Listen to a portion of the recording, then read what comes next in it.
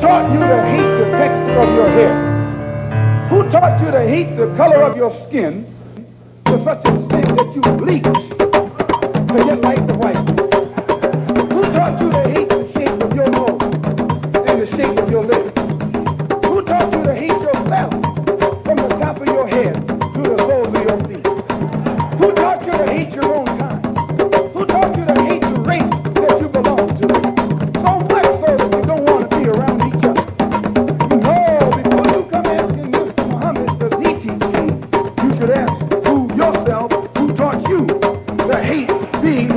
you. Who taught you to hate the color of your skin to such extent that you bleach to get like the white man?